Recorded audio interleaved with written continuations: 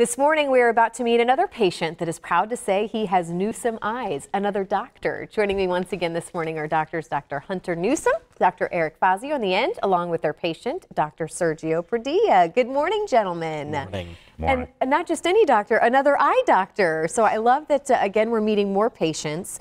I love what your office is doing, and you're really, you kind of compare it to like the Mayo Clinic of Eyes, and you're saying we're really trying to up the game in what we're doing here in the Bay Area. Yes. Tell me a little bit more about that. Well, there's a disease called keratoconus, mm -hmm. um, which is where rather than having an eye that's shaped nice and round like a basketball, it's actually pointy like the bottom of an ice cream cone. Oh, that and sounds that, lovely. Yeah, and that's a disease that usually gets worse with time. So we know that if we can catch patients early before their cornea starts to peak and get too pointy, you can stop keratoconus. And outside the United States, there's collagen cross-linking using just UV light and a vitamin drop, which is a pretty easy procedure to do that can really 90% of the time kind of stop this. So we want to try and find patients that we can help prevent this mm-hmm. from ever getting worse and really so they don't have these big issues down the road in life. Finding patients, then finding the right team, though, that can actually help treat this. And that's where you step in, that's where your team steps in. Talk a little bit about what you were able to do here for uh, the doctor here. Well, you know, I think we're kind of similar in a way. Uh, keratoconus is in my family with my two first mm -hmm. cousins. You know, with myself, I've been spared it. I don't have the disease myself, but we're kind of looking for that. And with Dr. Padilla, what was really cool is like, let's do the procedure on somebody that really can communicate with us on a professional level like what happened? Yeah. How do you feel? What's your feedback? What can we do better?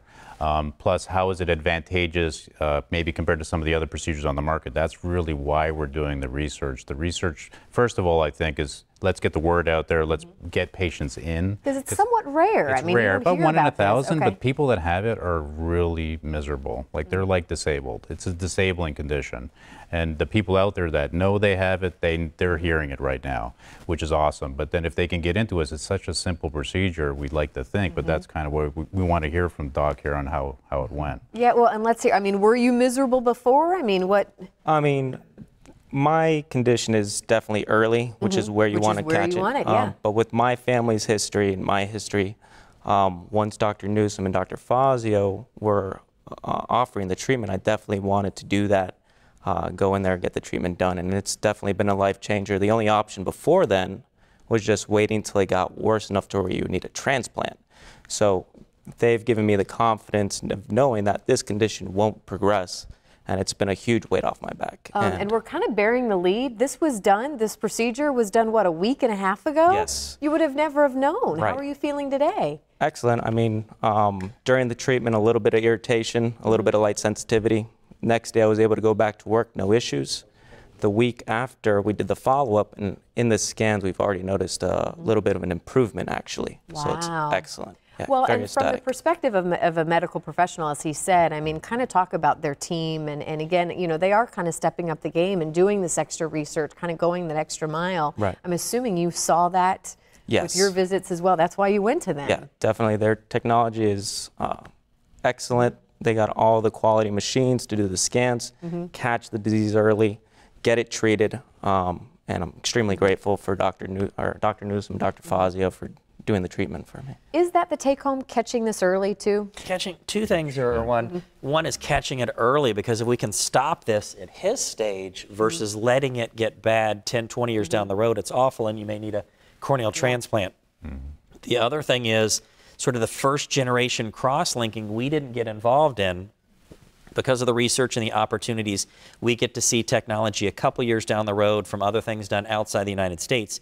We went into an FDA study for sort of the second generation, which is called an epithelial on. So rather than doing a procedure that removes the whole front surface mm -hmm. of your eye, we're able to, which can be a four or five day, very uncomfortable procedure.